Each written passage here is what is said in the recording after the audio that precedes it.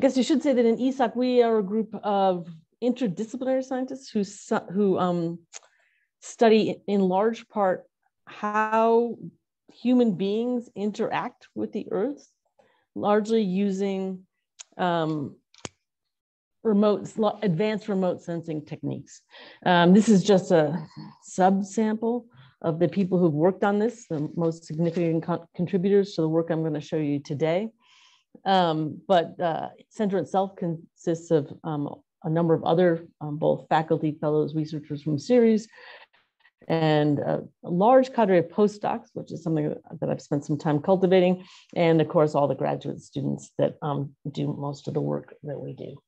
Um, today I'm going to talk to you a little bit though about a, a particular um, uh, area of research that involves the intersection of, again, big remote sensing data, um, what's called SAR data, synthetic aperture radar data, along with um, uh, advancing advanced computational techniques that we hope to use for machine learning. And I'll be honest, we're just starting that phase of the work. So that's not, um, there's not a lot of that in here. The title is slightly um, misleading that way, but I'm going to hopefully show you some interesting um, applications and advancements we've made to try and um, speed up this big data problem.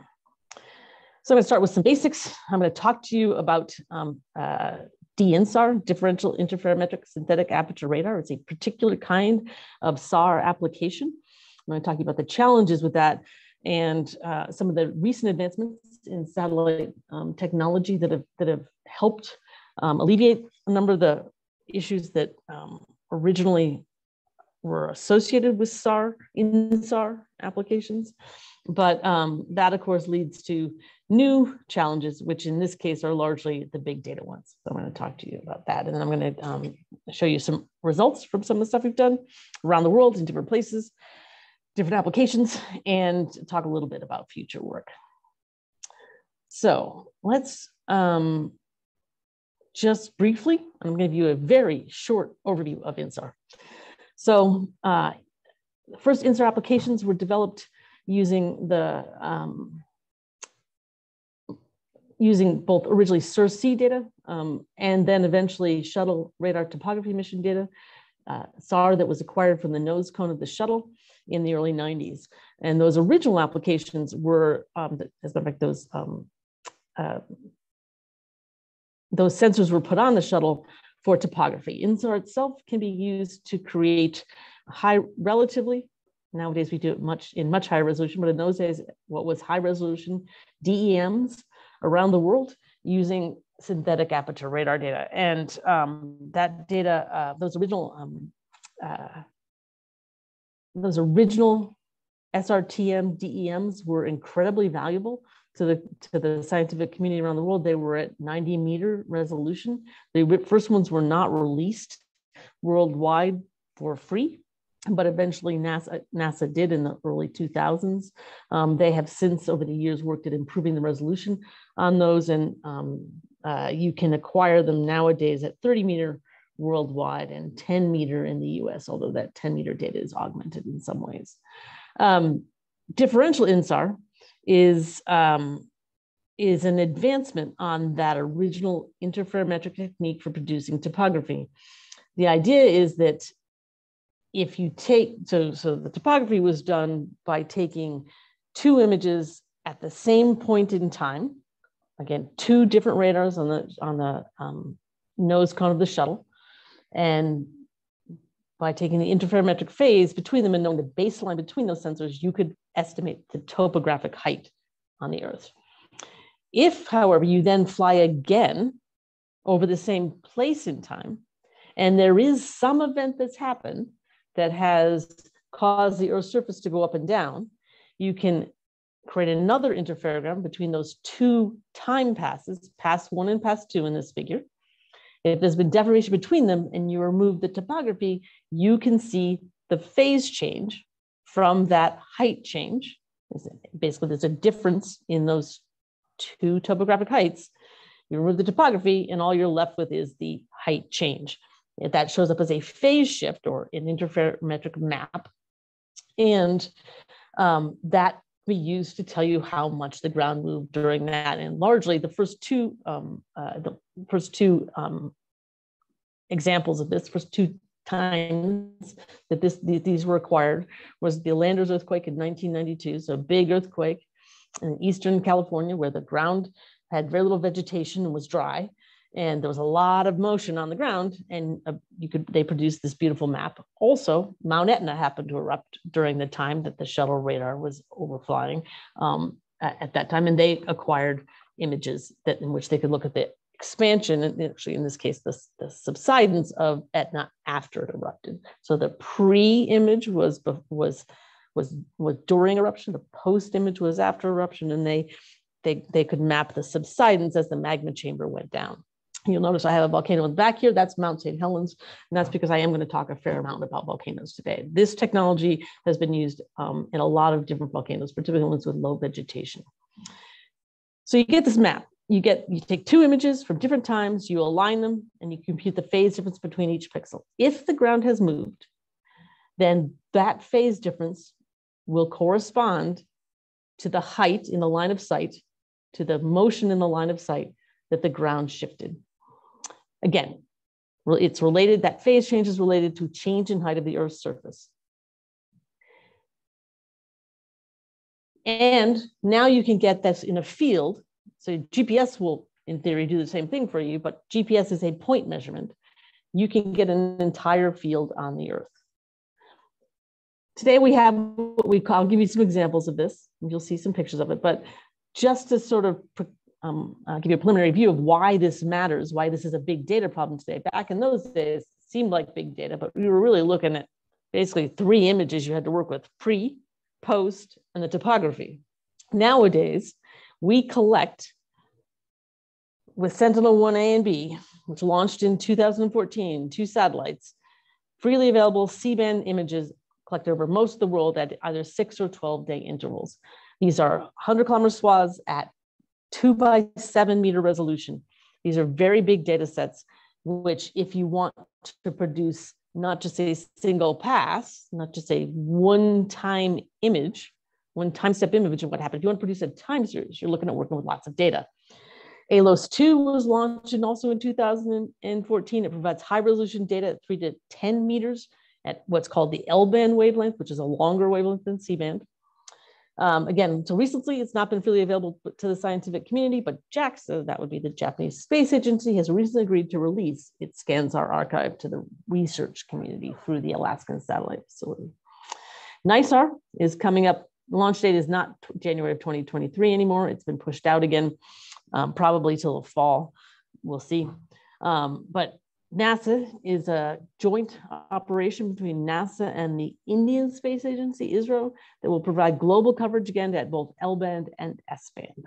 So, and again, global coverage, comparable resolutions every eight days or so. We're looking at, again, unprecedented high quality dense time series with using these DINSAR images.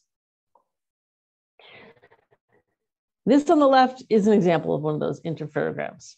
This is the Ridgecrest earthquake in July 5th of 2019. It's an unwrapped interferogram because this is a this is from Sentinel and it's a C-band satellite. Every fringe repeat here, every time you go from pink to pink or blue to blue or yellow to yellow, you have a 2.8 centimeter amount of motion in the line of sight direction. This is wrapped. You have to unwrap these in order to get absolute motion. And that absolute motion will actually be relative to the point you unwrapped from. So again, it's a relative motion image across a relative motion measurement across the image. And in this particular case, it's at about 25 meters resolution. This was in, again, um, Eastern California, the northern Mojave, north of the Mojave Desert. It's um, very dry, very low vegetation. You can see the beautiful pixel coverage. I did this. This is the earthquake itself was on July 5th of 2019. The, the time span is a single look. This is a single set of passes. Pass one was on June 28th. Pass two was on July 10th. And this is the difference in motion between June 28th and July 10th caused by that earthquake. Um, I did this a couple weeks later. Um, took me a couple hours on my once I set it up on my local machine.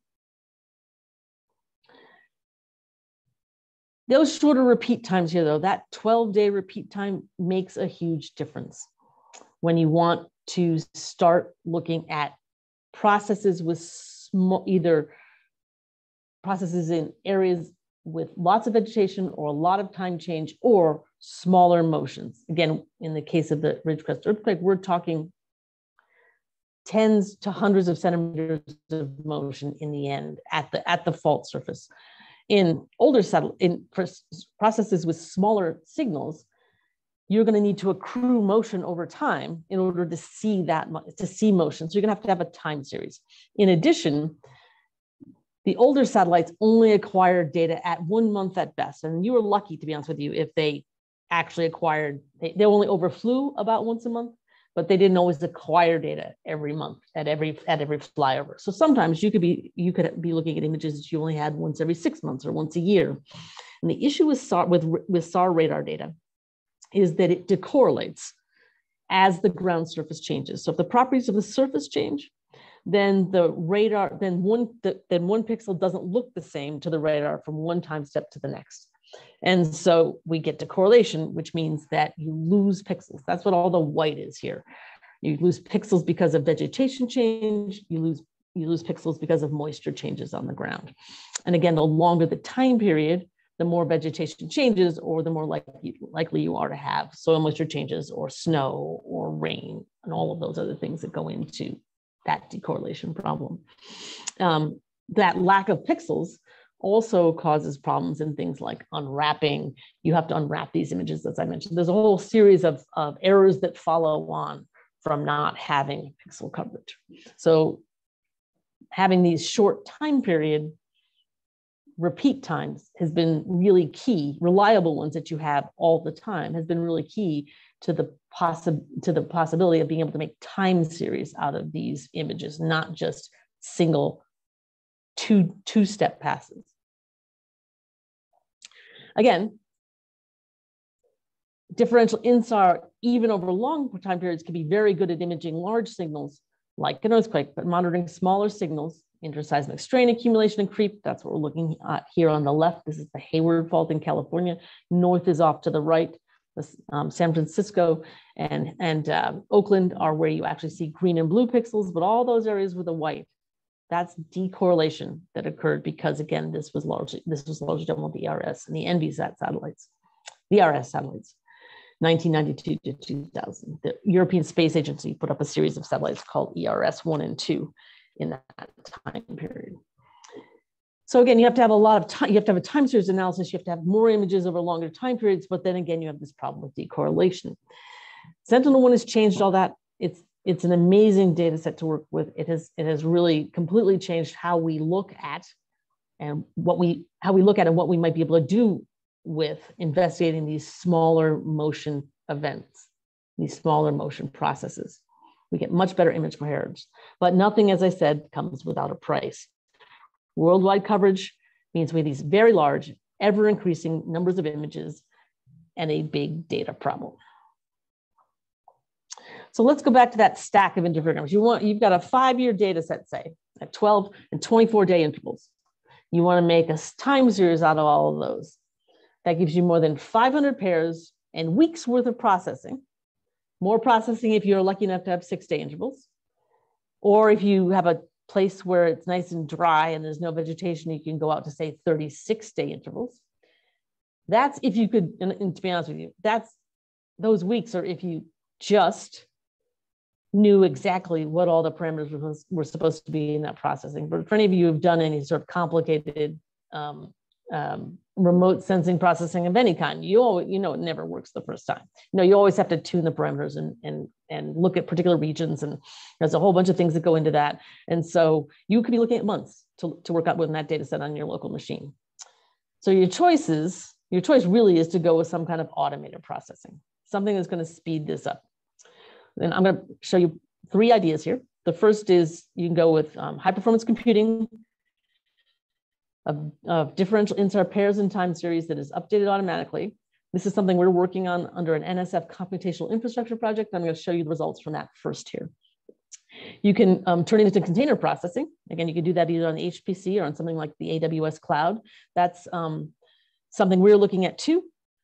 Also, agencies or institutes are, are thinking about producing standard products. NASA, JPL, and ASF have already partially implemented this under Sentinel-1 and are planning it for, for NISAR. And that, I'll be that um, that actually often uses a container I, uh, a container that they process on AWS, for example. So there's some overlap here between these three methods, but I'm base, I'm going to basically um, uh, break them down into those three examples here today. So there's one other wrinkle in this, just for the sort of in terms of the processing and the computational things you have to think about. There are other INSAR processing software, there, there are other INSAR processing software programs out there, but there are three big ones, are the ones that we all use. Most of us, 90% of us in the community use. And they're as follows. First is ISCE, the INSAR scientific computing environment. Um, for those of you who have ever heard it before, it's the modern version of ROIPAC. ROIPAC was originally developed at, at JPL. Um, it's a very complicated program with a lot of um, uh, parameters you can change and tune. I think I mentioned that there are a fair number of parameters you need to tune to get some decent INSAR processing done. A lot of different subroutines you can choose from, things like unwrapping. Um, it's continually being updated.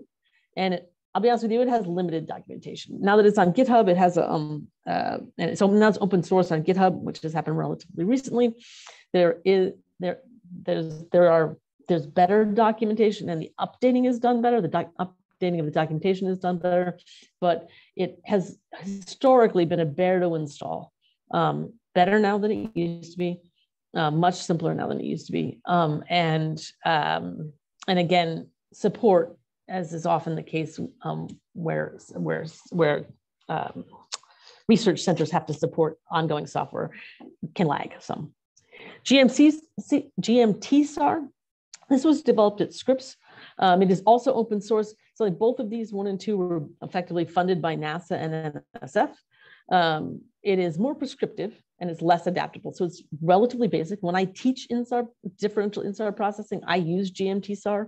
Um, it's got lots of tutorials. The documentation is better. Uh, but it, again, doesn't offer all the bells and whistles you can get with ISCE, for example. Um, and then Gamma, which is a commercial software. It was developed by the same people who did the Bernese software for GPS processing out of, of Switzerland at the Institute in Bern. Um, it's a commercial company now. It's a commercial software, has great support. It's also very expensive to buy and very expensive to, to, to run the up to run the maintenance for. Um, I have a license for it, which I purchased when I came here because I had had licenses in Canada, which were which were supported com for complicated reasons, were funded partially in large part by the, by uh, government grants.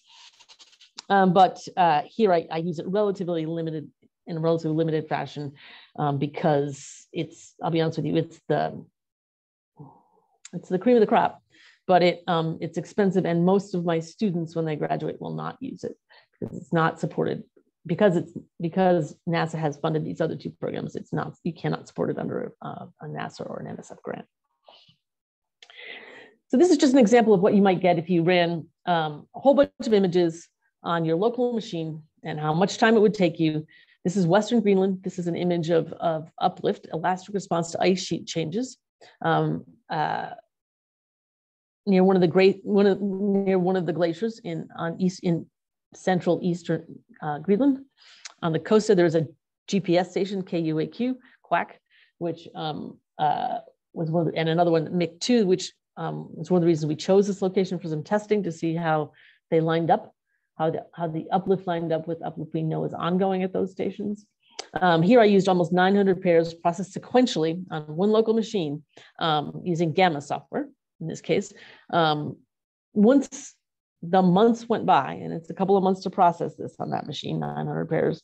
Um, I then had to go through the images and try and choose about 100 optimal pairs to do the time series analysis. Again, because this is um, Greenland, there's a lot of snow and ice. A lot of the images um, were uh, corrupted by the snow and ice in the winter, the, the large snow and ice, that you, amount of snow and ice you see in the winter. So again, um, whole bunch of a um, lot of time to produce this image. And as time goes by, more images are acquired. right? This is this is an ongoing problem with this, an ongoing issue with this kind of analysis. By the time I get my two months of work done just to produce this, there are two months more of more of images that are sitting in the queue waiting to be done. Just if you did that on your machines.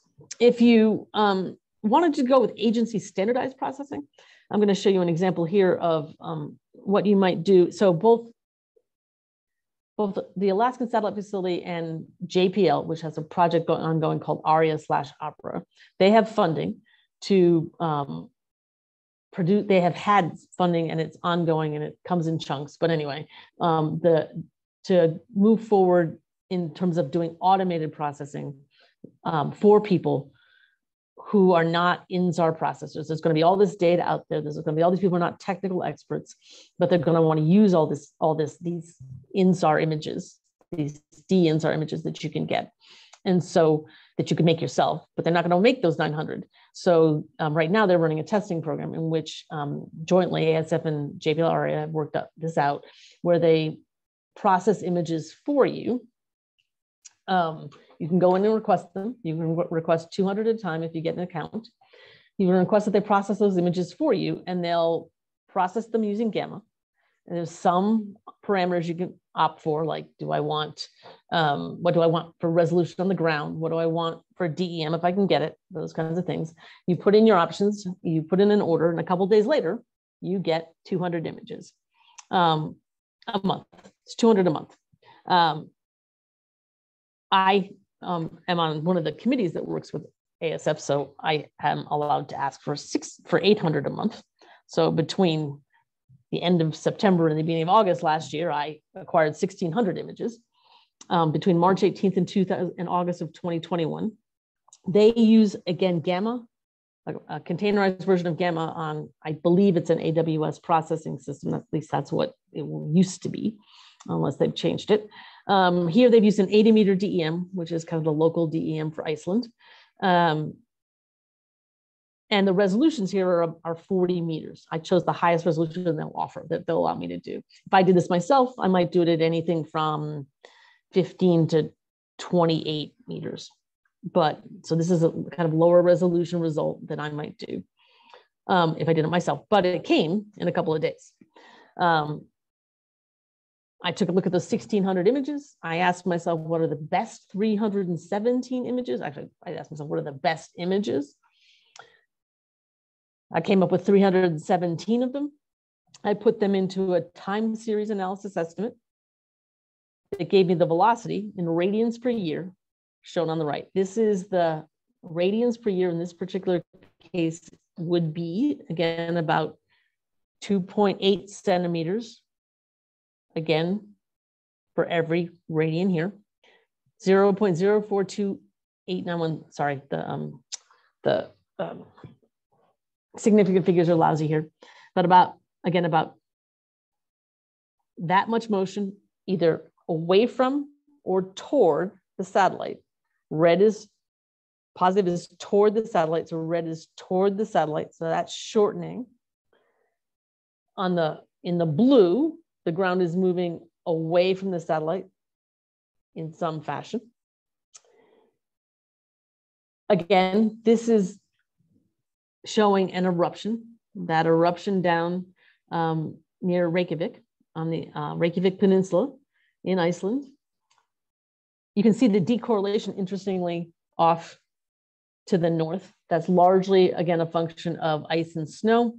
Um, and and again, the sort of more bare earth um, products and processes that you have going on down in the Reykjanes Peninsula itself. And I've also given you a time series that, that ends just before the eruption. So this is, this is the motion of the ground caused by the injection of magma under the surface. It started as, as the ground started to rise and rise and rise to go up before the eruption. Once the eruption happened, of course, then all this lava comes out. That A causes decorrelation. So there's some issues with doing in doing differential INSAR after that. But in addition, the ground will then start to subside. So if we if I continue this on, I should see a subsidence signal after, during and after the eruption throughout this time period. This is just an example. of what someday people will be able to do using um, using products from NISAR that will be automatically processed. JPL's plan is to automatically process um, at about a, well, last I knew, about 90 meter resolution, every pair that's produced by NISAR as it comes off the as it comes off the off the earth as it comes down from the, as it comes down from the satellite and then you'd go in and acquire these not process them yourself just download them and turn and then run your own time series. Time series analysis doesn't take that long. That's not a big data problem necessarily. It's an inversion problem, which is a whole other issue, but it's not a big data problem.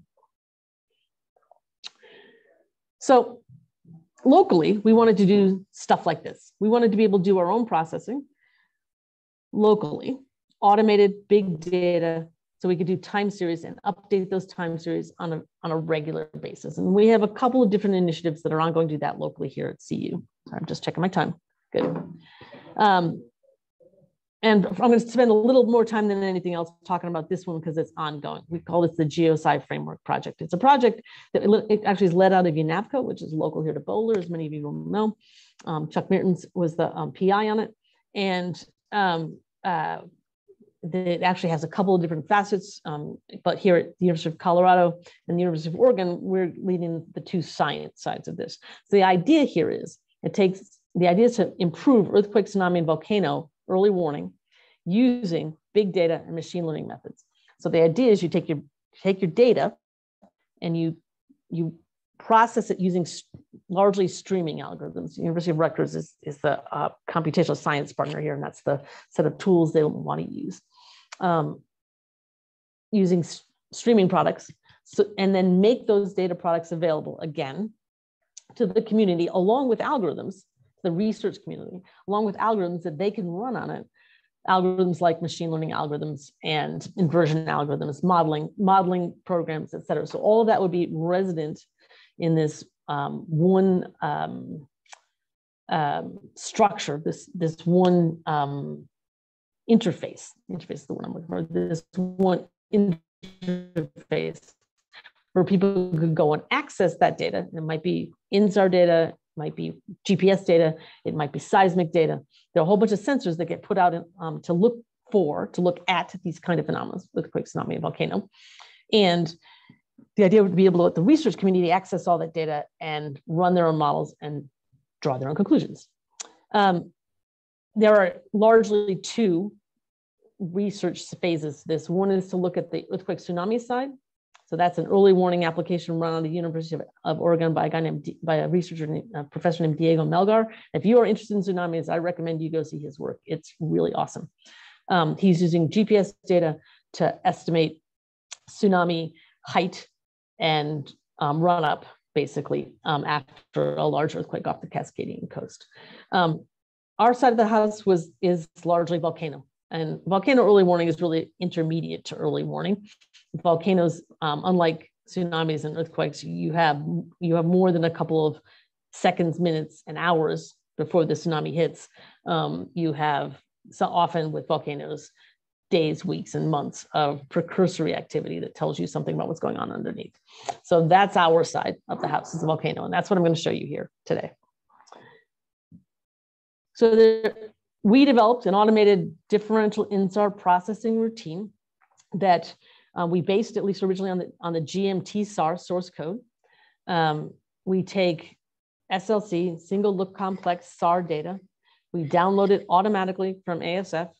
We generate interferograms automatically using the GMT SAR code. We do that on Summit. That's where we originally ran all the tests for this.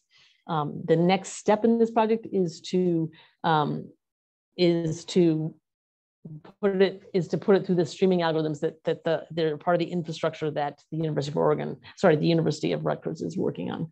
Um, so we did, in, but for the test cases to show what we could do, we installed a and we use those their HPC resources to process all interferograms at 12, 24, and 36 day intervals for Hawaii in this case. What you're looking at here on the right is Hawaii.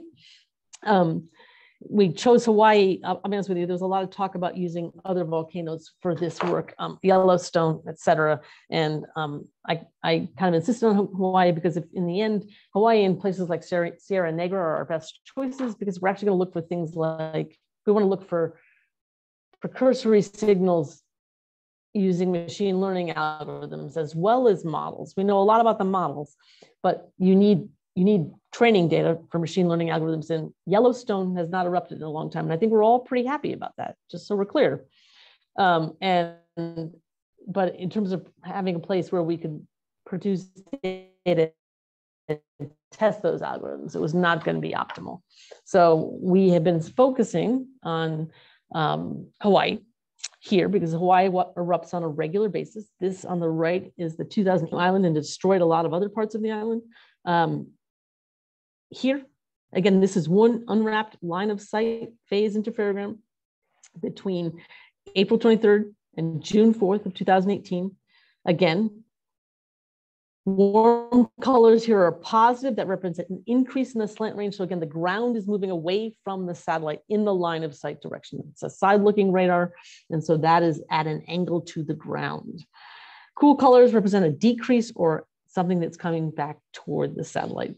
The um, volcano itself tends to, the, the eruption location for, um, Hawaii, for the big island of Hawaii is on what's called Kilauea. This is Kilauea over here on the um, eastern side of the island.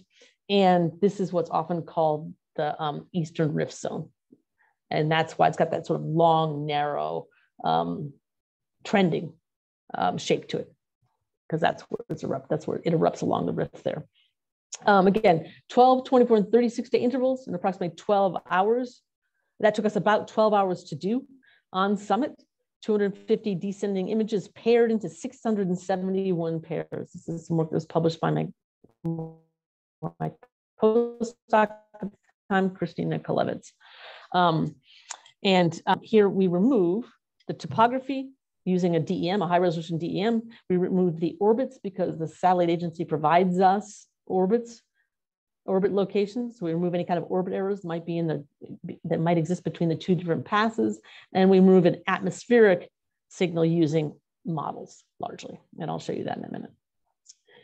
Again, we uh, we're, we're testing processing this using ISCE to see if we can do better get some better results out of it um, at the moment. And one of, one of my students has been processing it on processing that on his local machine to test the ISCE processing. It took him well over a month to process the same images. This took us about 12 hours. And it's set to automatically update.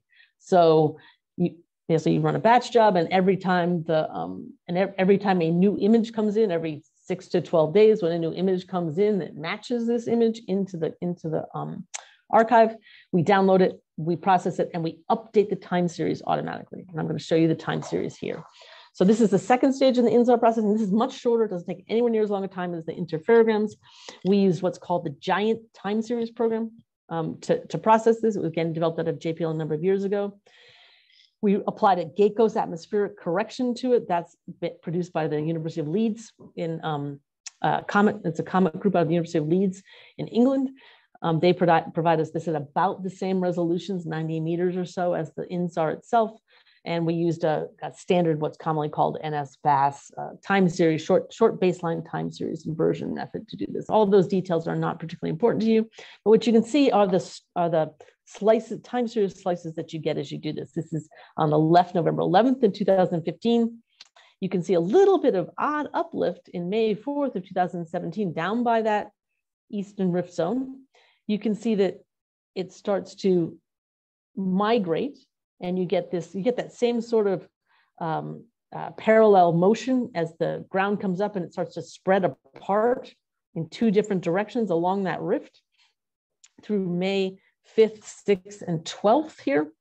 You see uplift under the main um, crater as well.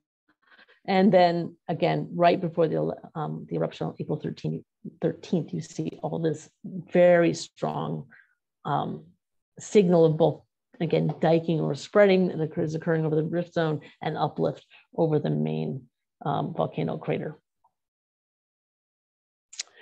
We integrated this with GNSS data so this is a method that I haven't talked about, um, and I'm not going to spend a lot of time on. It's actually uh, an interesting data analysis um, technique.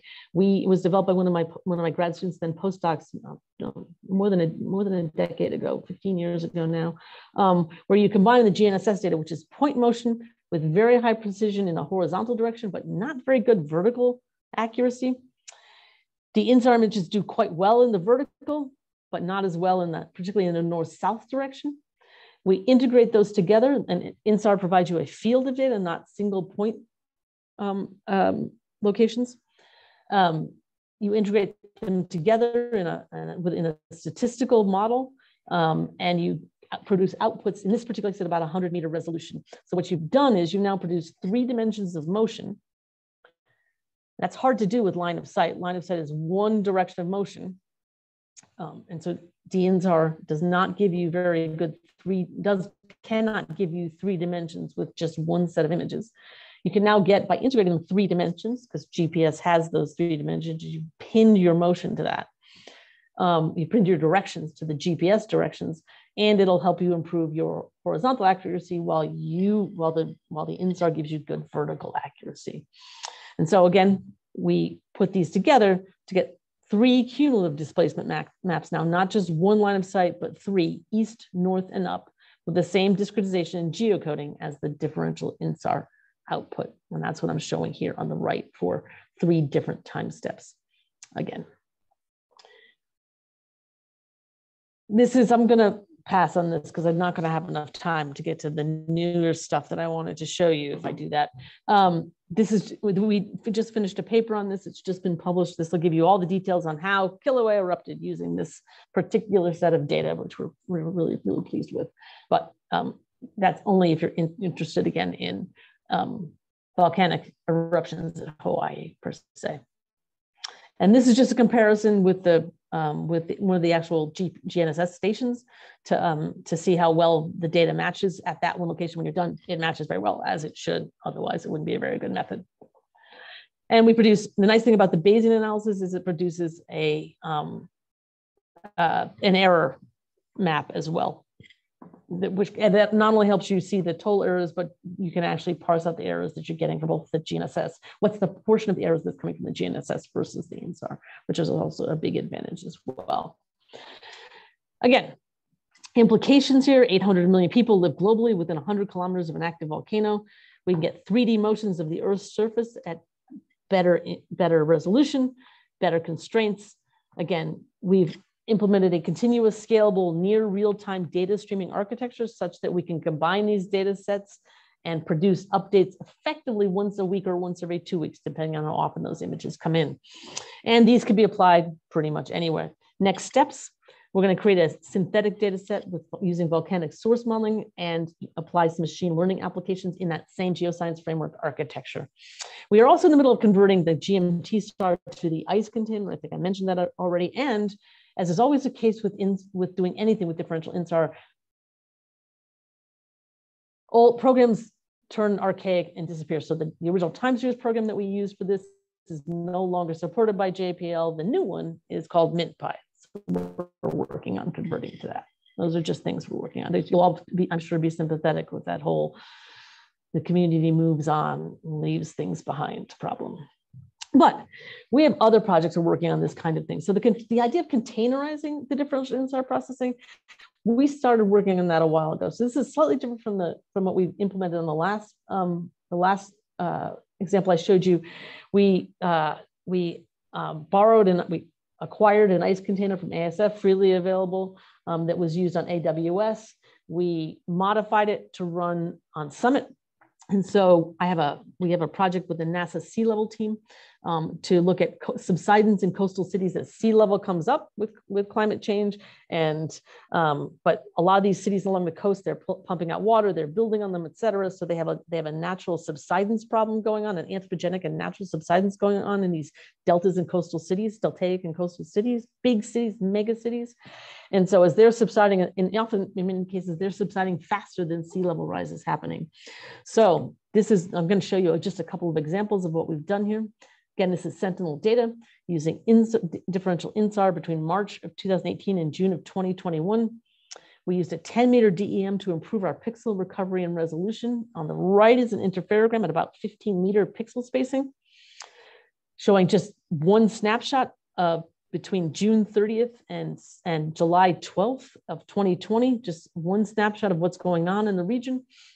On the right is um, a velocity map for that for the entire time period produced using again that ISCE container modified for parallel processing here on Summit by one of my students. Again, get several hundred um, images that can be processed in just a few hours. And again, you get this long-term subsidence map that's going on here. We're still working at benchmarking this. One of the problems with coastal cities is there's not usually a lot of, of um, bedrock. And as a result, um, you need GPS stations or some other way of estimating the local subsidence. So you get an absolute map. INSAR is a relative map. This is again Lagos, Nigeria. And again, you can produce individual time series from these, just as I did for Iceland. So again, you can see that if you pick a couple of different spots, you can see how it's subsiding with time, both a seasonal signal that you're seeing in some of these, as well as just the long-term secular subsidence rate as well. This is Vancouver, British Columbia. This is some work I did. I used almost 1,200 differential INSAR images produced again with that same container on Summit. I, I collect, I uh, selected 310 optimal pairs, and I did process a time series analysis on that. I used a five meter DEM, and the final result is in about a seven meter pixel spacing. That's what's up here on the right. On the left is something we did 10 years ago, almost now, using eight years ago now, using ERS and RadarSat data, ENVISAT and RadarSat data um, for the same region. And you can see the lack of pixels. You can see the loss of coherence in some of those locations that we got when we did that analysis on the left, because those images were not produced at, again, 12 day intervals. The one on the right 12 and 24 day intervals. And this is what I get July 2017 to July 2021. Here I've converted the displacement to millimeters per year. And again, you can see that in some places, this, if you've ever driven through Vancouver, this is both a delta, this is the Fraser River Delta that's coming out down the bottom, plus there's large areas of agricultural fields. That's what those little square boxes are that you see as you drive up the highway. You can see them coming up there. Um, I'll show you some individual locations in a minute. Again, this is the city itself. Whoop, this is the city itself on the right. Um, that kind of uh, Google Earth map that matches this. Again, you can see some of these um, uh, agricultural fields again over on the left. You can see the airport on the very left um, out at the end of the delta um, as well. Uh, you can see this weird subsidence going on down in the US, as all good Canadians would say. God only knows what's going down on down there. Um, anyway, this is some of the locations. This is the airport, as I mentioned already. You can see this, rel this relatively consistent linear rate of subsidence between 2017 and 2021. Sorry, again, this is in millimeters per year. I foolishly did not put an axis on that. This is right along the edge of the Richmond seawall. On the inside of that sort of vertical line you see there, there's actually literally a seawall level there, sea, seawall there. There's suburbs on the um, to the east to the east of that houses, city houses, you know, uh, strip malls, all that kind of stuff. And on the left is literally the beach, the ocean, the water, the delta. Um, um, on the in the southern area here, this is this is the landfill. This is the local Vancouver landfill, and you can see how much it is subsiding again pretty continuously over this time period. And out here in the mudflats, in some cases, we're actually seeing uplift. And I do not know what is causing that. That is something that I still have to spend some time literally going out there with, with boots and, um, and, and a trowel and try and figure out what exactly is going on in some of these areas out on the mud flats themselves. Whether they're really aggrading or whether we're seeing some kind of other odd behavior. It would be, it's unusual to see that kind of behavior in, um, in SAR. Future plans, this is a map on the on the very right, produced by um, the Geological Survey, Survey of Norway, in which they they are literally producing an ongoing map similar to that map that I talked about for um, the GeoSCIFramework Project for say it in Hawaii, but for their entire country. So you can look for things like landslides, precursory motions, uh, subsidence, again, changes to the solid earth in Norway with time. Mike Willis and I have a newly awarded um, NSF Navigating New Arctic project to do the same for the solid earth portions of Greenland. Again, to do an, a map that covers, again, using these same techniques I've talked about, the ISCE container at high resolution, high resolution DEMs, um, to look for everything from a time dependent map of crustal flexure in the bedrock areas of Greenland and to look at small scale phenomena such as landslides and permafrost change. Last summer, we had a research student work on this. He's coming back this summer to work on it again. We produced just a pilot project of um, in, a, in a northwestern part of Greenland, near one of the glaciers there that everybody's interested in with a, a GPS station on it, et cetera. Um, that's what in the very right here I'm showing, I'm uh, very left here I'm showing you is the location in Greenland.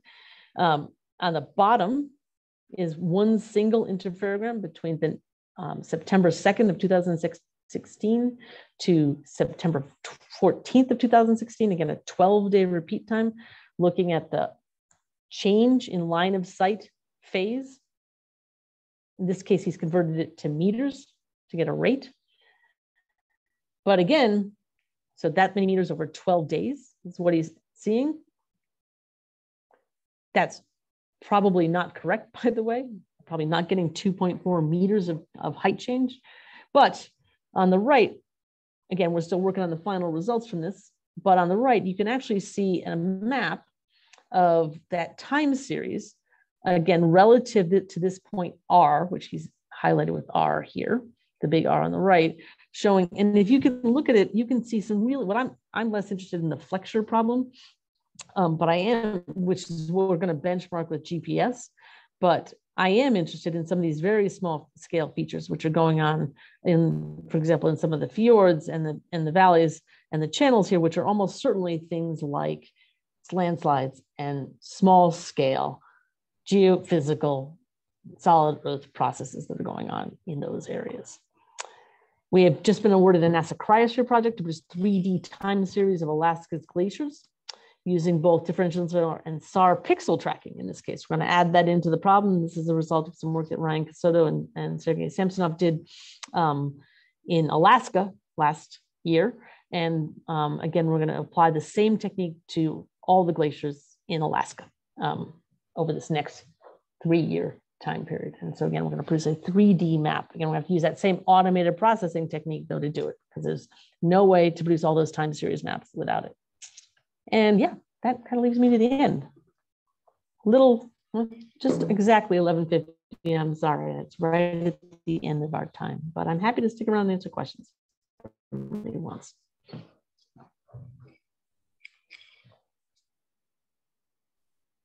All right, thank you so much. I'm going to bring up the chat too here a minute. Yeah, Natasha put in a fairly long question in the chat if you want to answer that. Sure. Uh, let's see. I, I can read it too. Um, uh, sure. You can do that too, Natasha. Yeah, okay. So clearly, SAR is quite complex to work with. Um, if we were interested in collaborating on the use of SAR, what are the types of applications of SAR that you're most interested in. And you showed volcanoes and sea level rise. Um, just to put this into context, many, many Earth Labbers focus on ecosystems, fire, and hydrology. Is there interest in collaborating on these kind of SAR applications? Sure. I talked a little bit about this one because it's kind of been kind of this big data problem we have going. But um, I have just finished a project. I and three other actually researchers, prime, senior researchers in, um, in ESOC have just closed out a project with NASA in which we, um, it was an IDS project in which we looked at cascading events, cascading events that are a function of wildfire, large fluvial events and has and and uh, landslides. So how do you link those together? Ryan Cassotto's been working on the landslide part of that, the landslide modeling part of that, and he's just finishing that up now. Um, and so for that, we use some SAR data. Um, for example, I, I need to send you a copy of it, Natasha, when I get off this. I haven't had time this morning to answer your email to me, but um, I, I had a student who's defending tomorrow who um, actually produced some wildfire um, burn maps in from what for Western Colorado using SAR, using Sentinel-1 SAR data. Um, that's been done with radar stuff. Well, so I, I, I myself have a I have my own personal research largely tends to be earthquakes and volcanoes, although I have, but I have an interest in how we use SAR for natural hazards, and all of my students have an interest in that. That's one of the reasons for the NSF Navigating the New Arctic project, because the bulk of my students who come in today are interested in natural hazards on, and the, their interaction with climate change. That tends to be a very big focus these days for, for our graduates. And so that's not just me, but the fact that I use this technique, which can be used to characterize those things, means I have a lot of students working on other kinds of things between besides earthquakes and volcanoes. So for example, Joel is working on the subsidence project and and um, um, sea level rise. I have um, a, I have a proposal in to look at to do that same thing, for example, for Bangladesh on a big scale. We, we just produced a map of, of subsidence in Bangladesh that um, I think will be that we think could be improved radically with time as a master's project. But we think could be much, much, we can do a really good job with when we benchmark it to real data in Bangladesh. Um, I have had a flood project through NASA over the last few years characterizing flood waters in, in floodwaters with time as as the as for example hurricane harvey hit houston and i could show you some examples of those. As hurricane harvey hit houston how how did um, can you map the floodwaters better than for example we do with something like ndwi or sentinel-2 right? Because you're because you're actually acquiring sar through the clouds and not um, and not you're not you're not hamper, hampered by that and you and you can do it nowadays at pretty high resolution 15 10 to 15 meters. So yes i do have a lot of interest in that wildfires etc um, there's another question in the chat. Um, so um, yeah um, many of the differences were in millimeters. The height change is in is is off is in centimeters to millimeters. And and accuracy with INSAR we we, we make the broad statement that we do it at millimeter to centimeter accuracy. It's that's true. It's a wide, it's an order of magnitude range though. That's largely a function of the coherence. There are atmospheric errors as well, which we can screen out for. We work hard at screening out for. And um, again, that's one of the reasons. And but the other two sources of errors, one is atmospheric. Those can largely be accounted for or estimated reasonably well. Um, the other is this coherence change. So as, as, the surface properties change on the ground, then um, then that affects your ability to properly image the, the pixel itself. And so you're, and there are ways, and there are ways to mitigate that as well. So it's one of these, when I say I go through and of my 900 images, I come up with 317 I wanna use. I do basically a, a coherence quality cut on that data. Um, and I only choose those images with the best coherence in order to minimize the errors that might be coming from loss of pixels. That's the, that's the interferograms themselves. When you run them through a time series analysis, then you can then come up with an estimate of what the, what the error on that inversion is as a result in addition. So complicated process. Eh, it, there's a whole bunch of work being done at the moment trying to do a better job at, for literally for two decades. We have spent three, almost three decades, we spent very little time on quantifying the error in INSAR because we didn't have enough data to do it with. Now we do. Now we have all this Sentinel data. Uh, do we have any questions from in the room in SEEC? It's just to speak. Yep. One question here. Go ahead. Yep. Yeah. Yeah, Kristy, uh, I'm wondering uh, uh, here about the bands mm-hmm. Uh, of those products and what do you think about the what uh, how NISAR can improve those things because they will have two different bands. So, so can you talk yeah. a bit a little about this? Absolutely. So I um so let's start with that. I am one of those people that I love data. I love combining data. Uh, to me, you look at some data and you know what it's supposed to do and that's great it's the things you didn't expect from data that i think are the coolest ones so so i actually can't wait for NISAR because we're going to have two different bands flying at the same time and i know we're going to get all kinds of cool stuff from that um, the way the, the principles with with the band with with SAR in SAR in the bands is that we largely have historically with the X band, C band, and L band. X band is the shortest wavelength, call it about one to two millimeters. C band is about five and five to six millimeters. That's what the range is approximately. Um, that's what we work with in, in, in the satellites. And then L band is 24 centimeter, approximately 24 centimeters. Um, and so as a result, they tend, when you look at, when you look at deformation, they tend to see different phenomena. L band, L band um, can, can as you wrap and unwrap those fringes, it when once the once the height change on the ground gets too big, it can't unwrap the fringes properly anymore. It, the surface doesn't look the same to it anymore. So you lose coherence. So L-band does better with like big earthquakes and stuff. On the other hand, it also does better because it penetrates through vegetation better. C-band doesn't do as good at penetrating through vegetation and sees smaller signals, but it also means that you can accrue small signals over time and do a time series quite well. It also it sees smaller it sees smaller phenomena better. L band does isn't as accurate that way, and X band is used. It's a much it it um, it has it's used a lot for ice and snow processes. It's used for um, um, uh, vegetation canopy because it doesn't penetrate the vegetation canopy really at all. Um, but it also sees also, it's also very good at very high resolution data, very high resolution pixels. So they'll have their advantages and their disadvantages. S-band is gonna be in the middle. S-band is gonna be, it's gonna be about 14 centimeters. So it's gonna give us, again, the L-band on the NISAR will give us good coverage, good coherence, we won't have as many vegetation problems as we do with the C-band um, around the world. That'll be great. Um, uh, S-band will give us a different a different wavelength, a different phenomenon, and, and a whole bunch of different things to learn. And it, it probably will be very good for um, other applications as well. It's one of the reasons it's being flown is because um, it, it, it should do quite well at characterizing changes in agricultural vegetation, agricultural processes. And the um, Indian Space Agency is, has developed that sensor and is, and is delivering it to be put on the satellite for that reason. They're very interested in agricultural processes across the Indian subcontinent.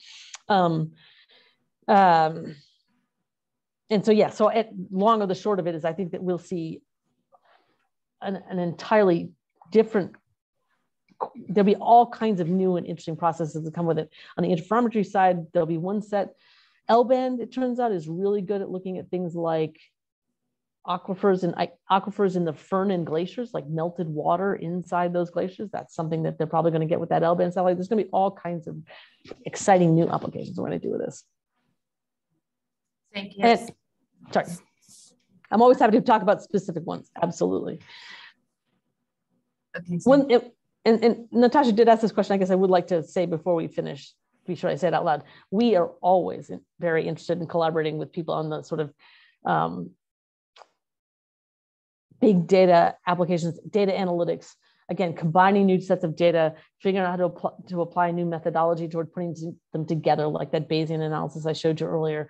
Um, that's where, we, you know, that's where, and, and that's where largely we see a lot of the advances coming in the remote sensing world that we work in.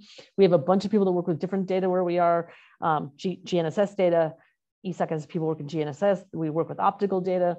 Um, uh, and a whole, and then some people do a lot of field work. We have a whole variety of sets of projects and and um, and skills that I think would be great to collaborate with all of you on. So yeah. Great, thank you so much again. Um, next week we are having Nate uh, talking about uh, some of the Earth data science education um, and again, we're so happy to have you. Thank you again for. I don't know. Um, Thank you. Thanks for inviting me. And feel free to, anybody wants to contact me independently, feel free to. I love to talk